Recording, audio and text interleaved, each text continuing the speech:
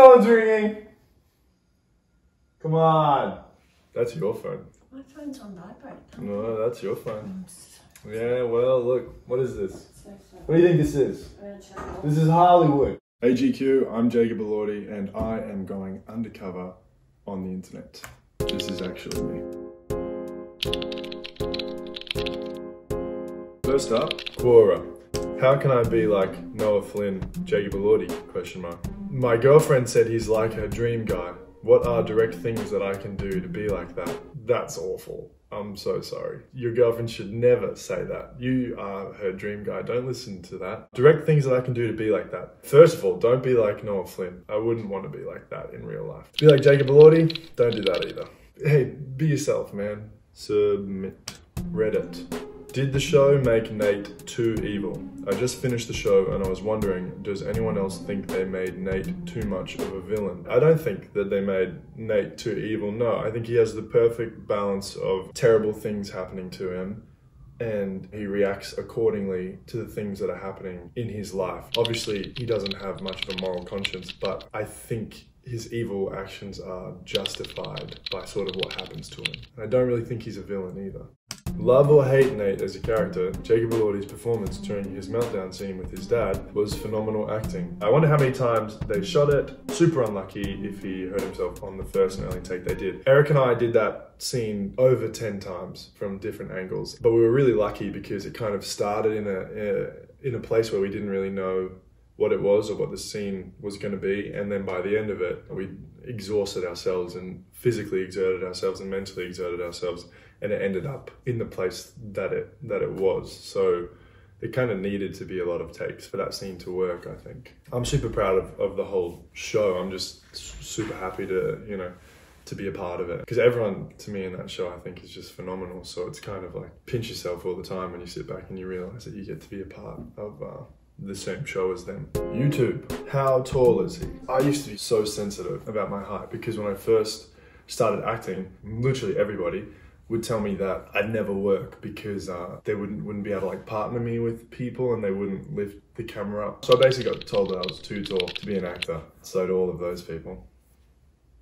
Nice. So yeah, I was super nervous about telling people my height. So I used to try to pass as like six two or six three, but I'm actually six five. So online, there's all different kinds of um, of numbers because I've just sold myself out here.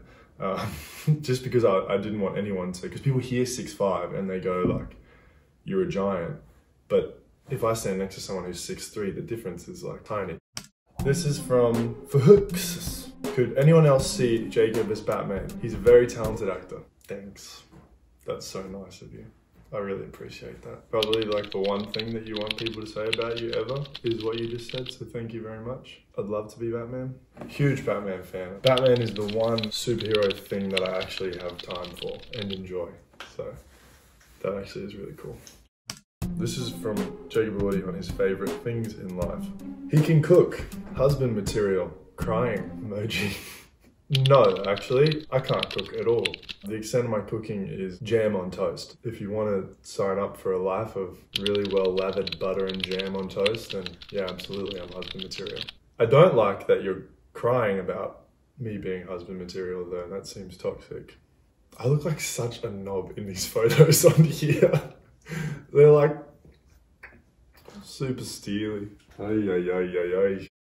Next up, IMDb. He learned how to ride a motorbike for the film The Kissing Booth. That's true, I did. We were in South Africa. The guy, just, I think his name was Neil maybe, just threw me on a motorbike and he was like, just kind of figure it out on the side of the freeway somewhere in uh, in South Africa and it was awesome. Uh, fell off a million times. But yeah, I did learn how to ride them for that movie. I don't ride them, my mum won't let me. I really want a motorbike though. I'd never ride one in LA, but I would like to get one. He started acting professionally by playing the cat in the hat in Seussical, by far the standout performance of the show. Professional is uh, an interesting word. I was in grade six. But yeah, why not? We'll go with that. Moving on. Instagram. When are you going to start working on season two of Euphoria? I have no idea. I hope it's really, really soon because I'm really bored and I'd love to go and do that. I had the scripts for Euphoria season two, but that was at the start of the year and they change all the time. So I imagine now it's a completely different show. Is it possible that you're now 59 years old and used to be called Michael Schoeffling? Laughing, crying emoji. Oh, the guy from 16 Candles. Yeah, that's me. I'm him. You're looking at him. He's doing a GQ interview. How you like your eggs cooked in the morning? I don't. Please don't cook my eggs. I'll make my own breakfast. Oh, it's they want to like be a like um help me in that regard. Okay. Um thanks. thanks so much. I thought they were genuinely wondering how I like to have my breakfast. Twitter. What kind of girl do you think Jacob Elordi likes? It's girls like me, right? Right. He likes me. I like you. Wikipedia. Elordi was born in Brisbane, Queensland, Australia on 26th of June 1997 to John and Melissa Elordi. He has two sisters. He is of Spanish descent. That's not true. I have Basque descent, which is this little place between France and Spain. My grandfather would strangle me if he knew that it said Spanish descent. So I have three sisters. They're all much older than me. Not much older, but relatively much older. Growing up as the baby, I was definitely spoiled. I'm still spoiled. I've never not been spoiled. And I plan to be spoiled for the rest of my life. Next. He attended secondary school at St. Kevin's College and Nudgee. He showed interest in acting since he was young and was involved in many school dramas. Yes, I did. I lived in Melbourne for uh, for a little while. My sister was a ballet dancer at the Australian Ballet School, so our whole family moved from Brisbane to Melbourne and I went to school at St. Kevin's, which was super strict. And then in grades 11 and 12, I came back to Brisbane and I went to Nudgee College, which was not super strict. I did showed interest in acting since he was young.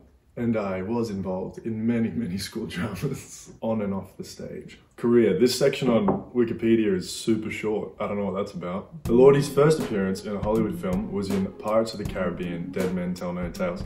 Mm, you know, this is something that I've wanted to clear up for years. People are always trying to find me in the movie and there's screenshots of me in the movie. No, I was in the background of the movie. I wasn't in the movie. I wasn't credited. I wasn't billed. I didn't audition. I was an extra. And it was one of the best things I've ever done in my entire life. And you'll never find me. I don't know if it counts, but the first movie I ever made was um, Stephan Elliott and it was called Flammable Children, in which I played a, a, a lifeguard. Again, not much of a performance, just kind of standing there. Wait, what? Is it called Swinging Safari? What did I say it's called? It was called Flammable Children. Did it change its name? There you go. I'm getting old. Can't remember. Been in that many movies now. Submit. Hey, that's me signing off the internet, guys. Thank you so much for uh, for, for tuning in and listening to me talk about myself. Uh, thank you, GQ, and uh, have a good one.